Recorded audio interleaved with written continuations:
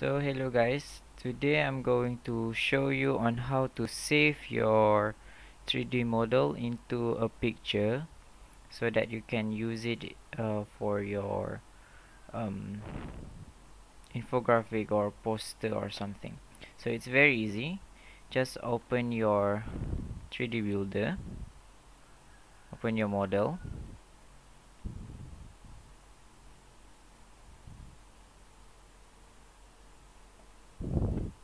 make sure that you view it uh, using light one this one and do turn off your grid label. Right so rotate it first. I want to take it on this angle. Zoom it in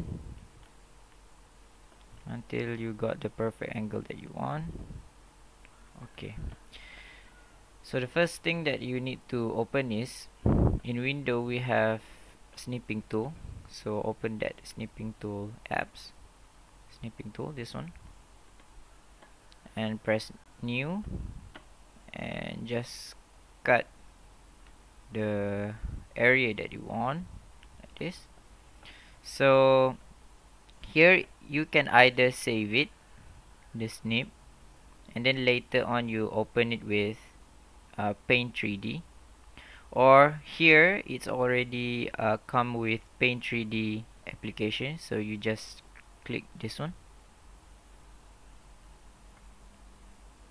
So what you're going to uh, do right now is to have just this 3d model right here and not this uh, shadow and the background. So to do this press this one magic select. Alright. And press this one. Next. So it's going to randomly um, choose your picture.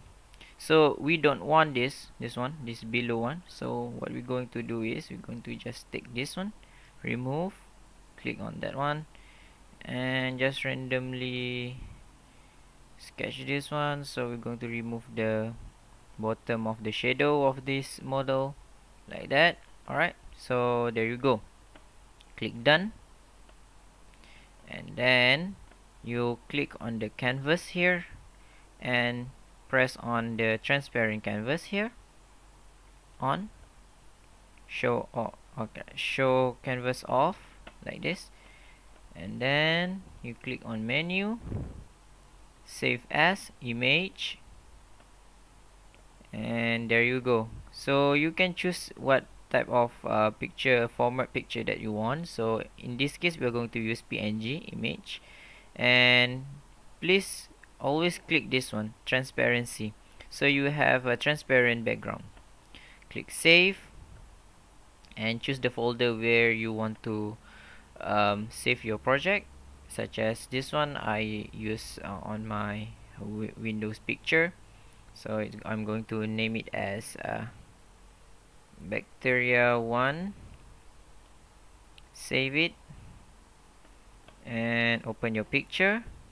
And there you go. You have your picture.